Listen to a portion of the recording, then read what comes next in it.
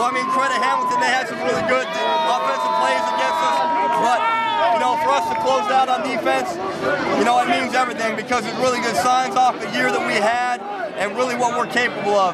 Uh, you know, obviously, offense has done an amazing job all year long, special teams, and we just love to be able to do our part and turn the lights off. This is not a team. This is a family that loves each other. And we were down 20 to 10. We got the job done, and now we back-to-back champs, baby. It was tough in the third quarter. We couldn't get nothing going with the win. But Coach O'Shea said at halftime, we're going to take the win in the fourth quarter, and we got the job done. You know, it, it, it's funny because the storyline, you know, is always talking about how we had no adversity this year. But, like, you know, we grind week in and week out. We sacrifice week in and week out.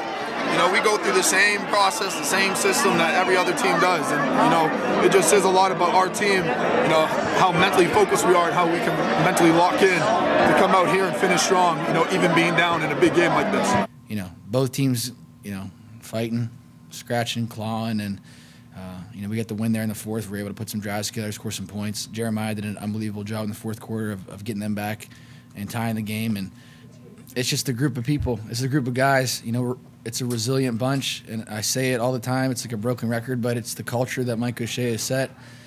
Just an amazing group. We never wavered.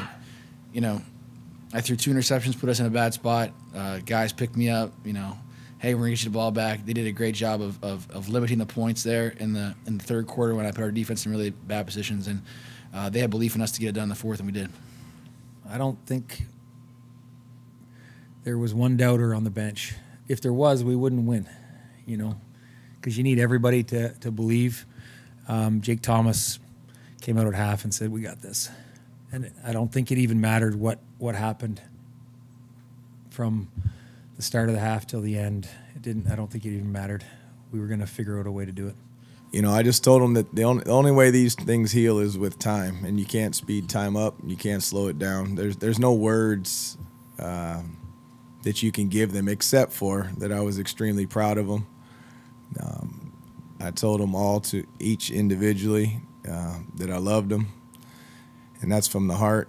Uh, everybody was hugging everybody, just extreme disappointment. But I just wanted them to know that, you know, other people can label or do whatever they want, but I'm extremely proud